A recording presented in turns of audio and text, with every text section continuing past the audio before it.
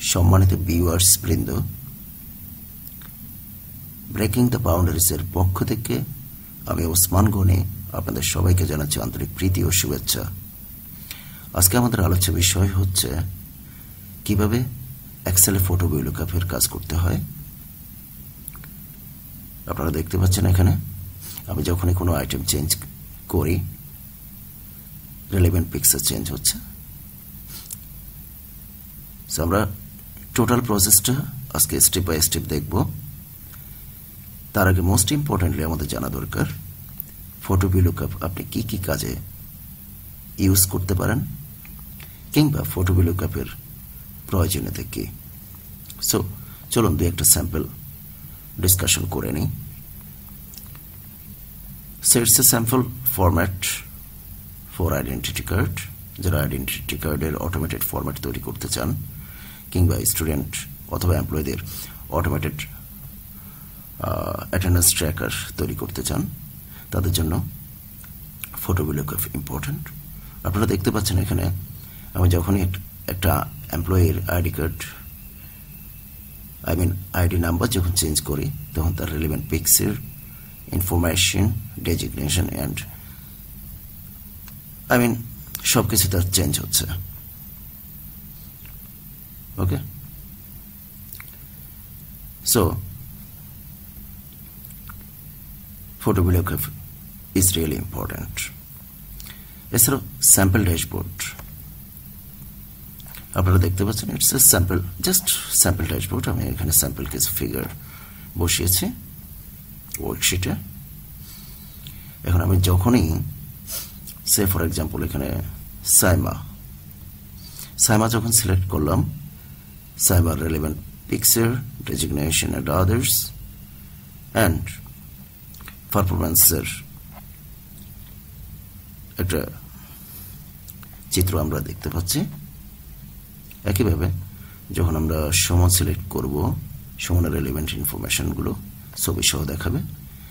আকাশ যখন সিলেক্ট করব, তখন আকাশের রেলিভেন্ট ইনফরমেশন অ্যান্ড জেসিকা যখন সিলেক্ট করব, তখন Jessica relevant information ranking whatever ড্যাশবোর্ডে আপনি যা যা ইনফরমেশন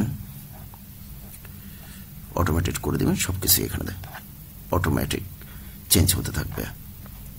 এতক্ষণ আমরা দেখলাম ফটো বিলকআপ কী কী কাজে ব্যবহৃত হতে পারে বা এর ইম্পর্টেন্স কী। এখন আমরা দেখব ফটো বিলকআপ কীভাবে করতে হয়।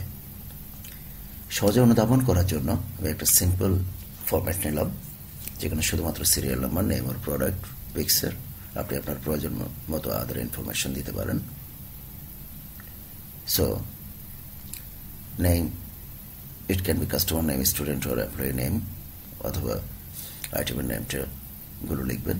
পাশাপাশি হচ্ছে রেলিভেন্ট ছবিটা বসাতে হবে। ওকে? সো আমি দুইটা ছবি বসিয়ে দেখাচ্ছি, কীভাবে ছবি বসাতে হবে। কারণ পিকচার সেটিংসের একটা ফ্যাক্টর রয়েছে, কিছু ট্রিক্স রয়েছে আদারওয়াইজ মিসম্যাচ রেজাল্ট রিফ্লেক্ট করতে পারে। আমি ইনসার্টে যাব পিকচার দেন রেলিভেন্ট ফোল্ডারটি ওপেন হবে যেখানে আপনি ছবি রেখেছেন, সেই ফোল্ডারটি সিলেক্ট করবেন। পিকচারের লোকেশনটা সিলেক্ট করার পরে আপনার রিকোয়ার্ড পিকচারটি আপনি সিলেক্ট করবেন। সে ফর এক্সাম্পল আমি অরেঞ্জের জন্য এই পিকচারটি সিলেক্ট করলাম। দেন গিয়ে এখানে পিকচারটাকে রিসাইজ করতে হবে। যেন রেলিভেন্ট সেলের ভিতরে এটা অ্যাকোমোডেট করা যায়। ওই হিসেবে প্রয়োজন মতো আপনি পিকচারটিকে রিসাইজ করে নেবেন এবং খেয়াল রাখবেন যেন সেলের ভিতর পিক্সেলটি অ্যাকোমোডেট হয় এবং সেলের বাইরে যেন না যায়। ওকে সো আমি পিক্সেলটি সিলেক্ট করে দেন গিয়ে ফরম্যাট পিক্সেলে যাব। দেন গিয়ে প্রপার্টিস এখানে move and size with cells একটা অপশন আছে। এটা আমি ক্লিক করব। আদারওয়াইজ পিকচারটা সেলের সাথে মুভ নাও হতে পারে।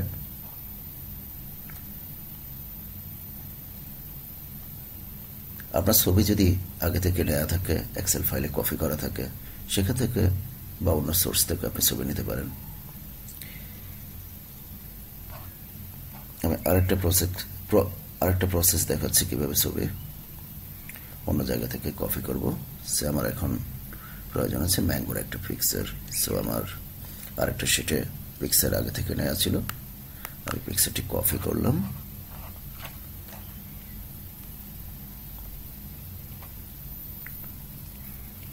দেন গিয়ে এখানে আমি পেস্ট করলাম। সো এবার আমি প্রয়োজন মতো রিসাইজ করে নিব, যেন সেলের ভিতরে অ্যাকোমোডেট করা যায়। ওকে। দেন একইভাবে আমি রাইট ক্লিক করব। রাইট ক্লিক করে ফরম্যাট পিকচার দেন গিয়ে properties then move size with cells close. So একইভাবে আপনি অন্যান্য পিকচারগুলো সিলেক্ট করে নিতে পারেন।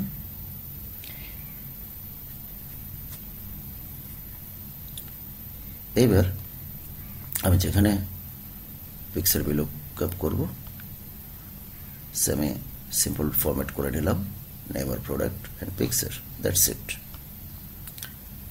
so এখানে আমি যে কোনো একটা নেম এখান থেকে কপি করব। আপনি ম্যানুয়ালি ম্যানুয়ালিও লিখতে পারেন।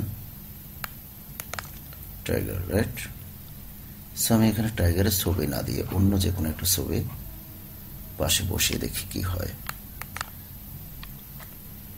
সো আমি এখানে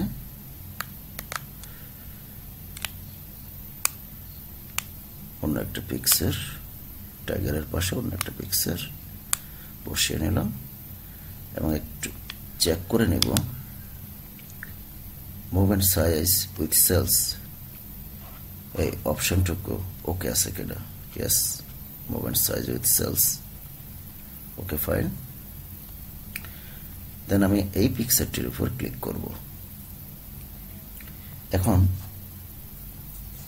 আমি একটা কাস্টমাইজ ফর্মুলা ক্রিয়েট করব। আমি ফর্মুলাতে যাব। দেন গিয়ে নেম ম্যানেজার এই অংশটুকু খুব ভালোভাবে দেখতে হবে।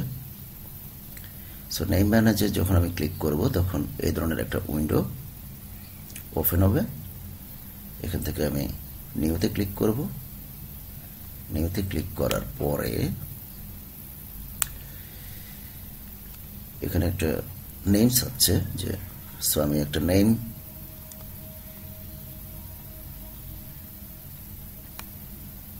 দিয়ে দিচ্ছি। কি দেওয়া যেতে পারে? Photo underscore one two three আমি যে ফর্মুলাটা ক্রিয়েট করব, এটার একটা নাম দিয়ে দিলাম। দেন আমি রেফার্স টু এখানে আসব। বাই ডিফল্ট যে ফর্মুলাটা আছে, সেটাকে ডিলেট করব। দেন আমি এখানে লিখব equal to index bracket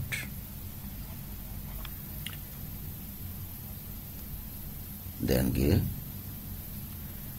আমি এখানে ছবির উপর ক্লিক না করে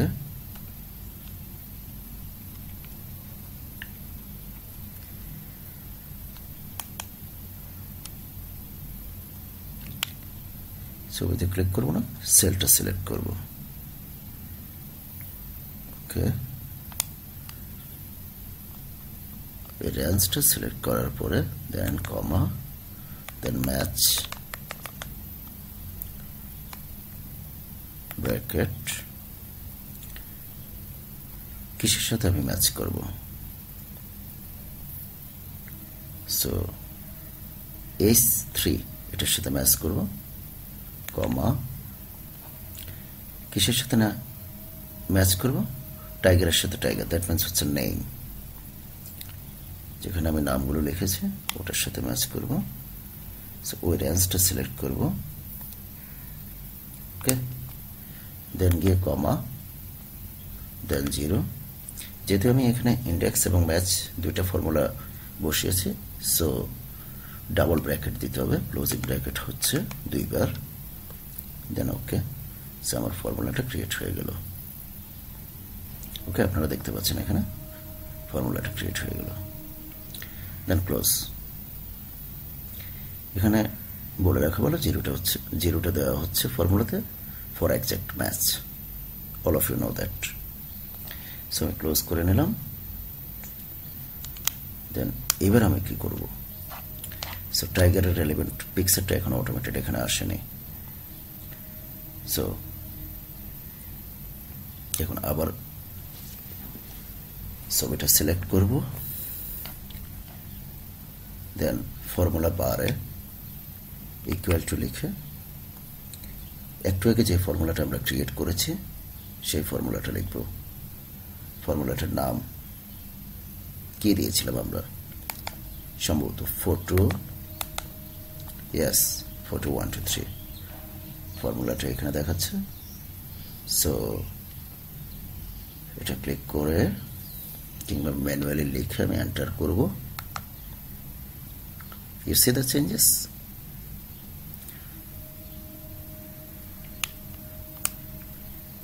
you have seen the changes, right?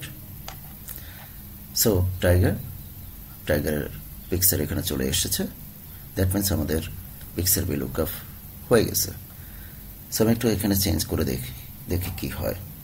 Say for example আমি টাইগার শব্দটি মুছে দিয়ে এখানে কার লিখলাম।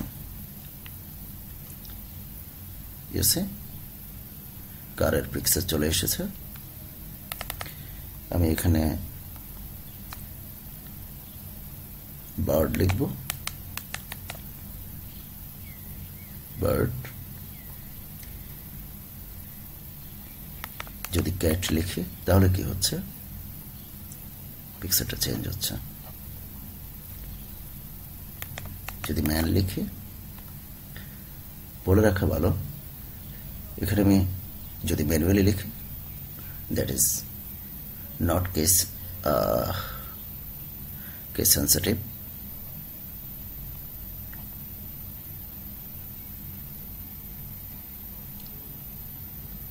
sensitive so একইভাবে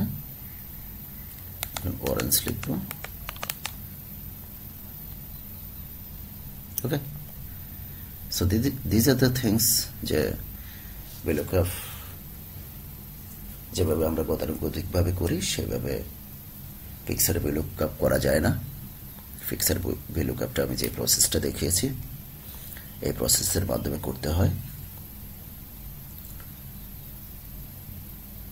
আমি আশা করি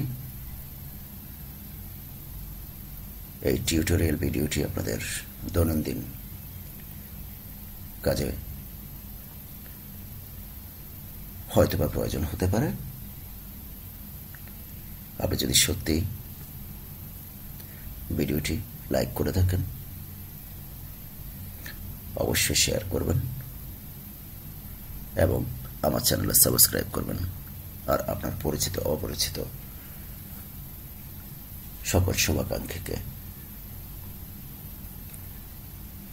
লিঙ্কটি শেয়ার করবেন কারণ ব্রেকিং দ্য বাউন্ডারিজ বিশ্বাস করে so the seeds of learning and development learn something new in every day. Thank you, everybody. Thank you very.